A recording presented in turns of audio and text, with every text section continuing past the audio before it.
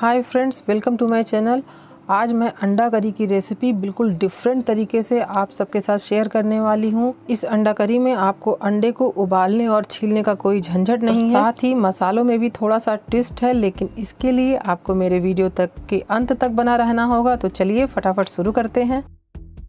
इसके लिए सबसे पहले मैंने कढ़ाई में चार टेबल स्पून सरसों का तेल डाला है। सरसों के तेल में अंडा करी बहुत अच्छी लगती है और जब सरसों का तेल हमारा अच्छे से गर्म हो जाएगा, तब हम इसमें कुछ साबुत मसाले जैसे कि तेज पत्ता, थोड़ी सी दालचीनी, एक इंच दालचीनी का टुकड़ा और एक छोटा चम्मच मैंने जीरा डाला है, साबुत जीरा, और जैसे ही जीरा चटकने लगेगा, मैंने यहाँ पर दो बड़े साइज़ की प्याज, जिसको कि मैंने बहुत फाइन चॉप कर लिया है, वो इसमें डाल रही हूँ। आप चाहें तो इसको ग्रेटर की हेल्प से ग्रेट भी कर सकते हैं, और अब हमें इस प्याज को, इसका कलर चेंज होने तक के लिए भून लेना है।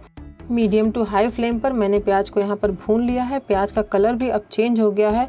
अब हम इसमें क्या करेंगे? कि इसमें हम एक बड़ा चम्मच लहसुन कूटा हुआ लहसुन, जिसे कि मैंने इमाम दस्ते में कूट लिया है, वो डाल दे रही हूँ।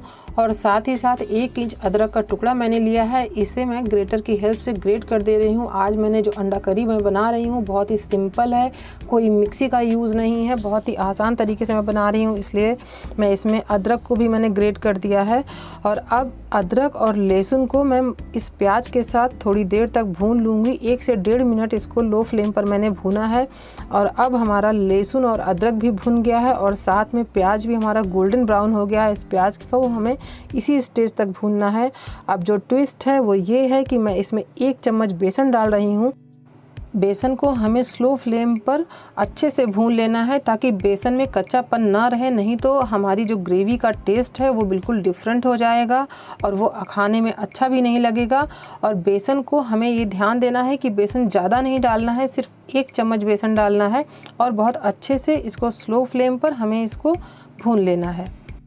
बेसन डालने से इस अंडा करी में जो करी का जो टेस्ट है, वो बहुत ही डिफरेंट आएगा और खाने वाले को ये बिल्कुल पता नहीं चल पाएगा कि आपने इसमें बेसन डाला है और ये बहुत कम मसालों में बहुत ही थिक ग्रेवी बनेगी। बेसन भून लेने के बाद हम इसमें तीन टमाटर डाल देंगे। इसे भी मैंने ग्रेटर से ग्रेट कर लिया था और टमाटर डालते ही मैं इसमें स्वाद के अनुसार नमक डाल दूँगी, जो कि मैं हमेशा अपनी हर सब्ज़ी में, ग्रेवी वाली सब्ज़ी में मैं टमाटर के साथ नमक डालती हूँ। इससे क्या होता है कि टमाटर हमारे बहुत आसानी से गल जाते हैं, बहुत सॉफ्ट हो जाते हैं और अब हम टमाटर को भी थोड़ी देर तक मीडियम टू लो फ्लेम पर भून लेंगे, तब तक कि इसका ऑयल बिल्कुल सेपरेट ना हो जाए।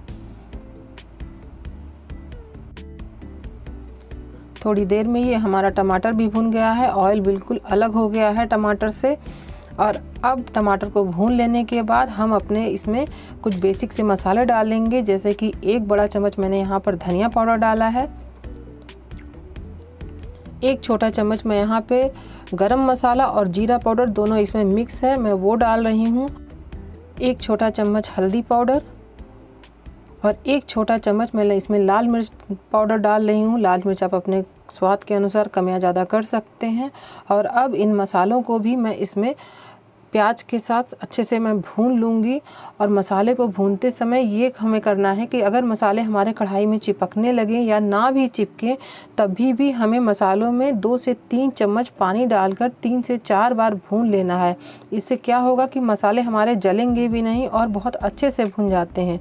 मसालों में पानी डाल डाल कर भूनने से क्या होता है कि मसालों का जो टेक्स्चर है वो बिल्कुल चेंज हो जाता है और मसालों का वॉल्यूम भी थोड़ा सा ज़्यादा दिखने लगता है।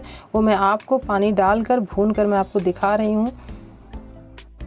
मसाले भूनने का जो ये ट्रिक है, इससे आपकी करी का टेस्ट बहुत ही अच्छा आता है। तो इसलिए आप एक बार इस तरीके से मसालों को भून कर किसी भी करी में ट्राई करिए।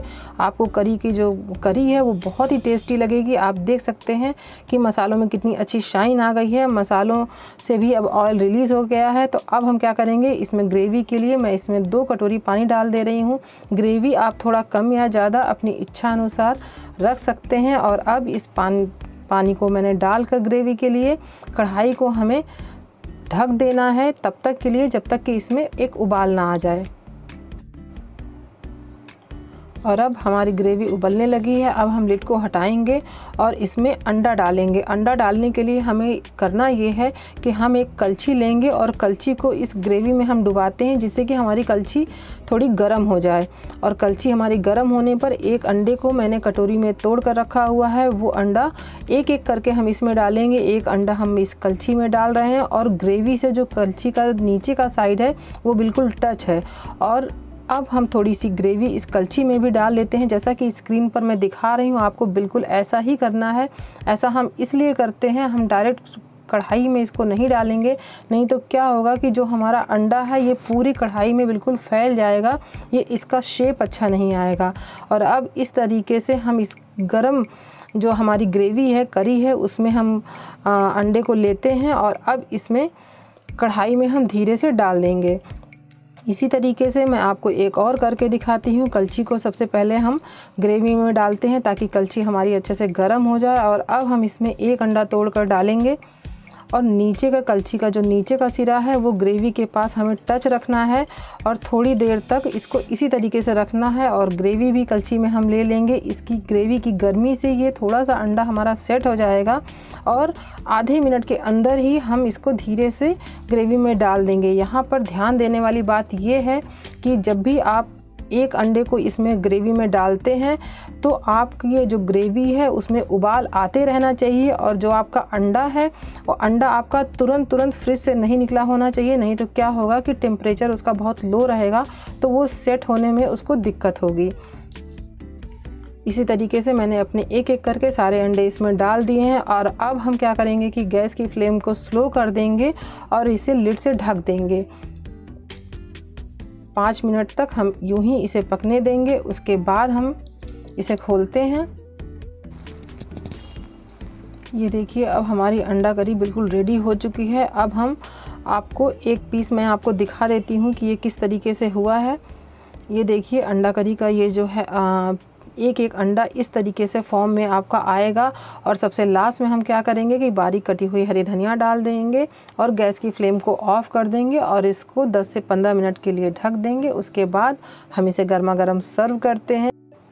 तो देखा फ्रेंड्स, आज की एक करी की रेसिपी कितनी आसान है और डेफिनेटली ये आपको पसंद भी बहुत आने वाली है।